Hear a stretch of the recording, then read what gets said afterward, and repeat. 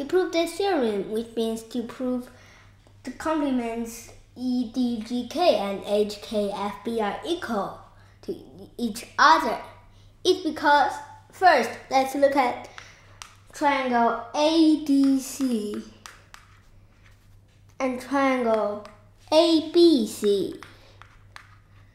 They're equal because a line AC is a line inside the parallelogram ABCD and it's a diameter.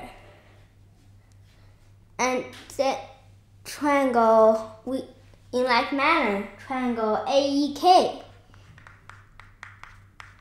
is equal to triangle AHK and triangle KGC to triangle KFC.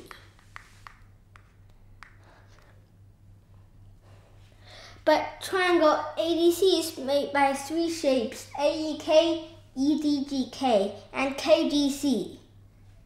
And triangle ABC is made by AHK, KFC, and HKFB. And we have triangle AEK equal to AHK and KGC equal to KFC.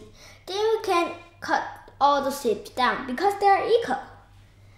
And at last, we, prove that the complements EDGK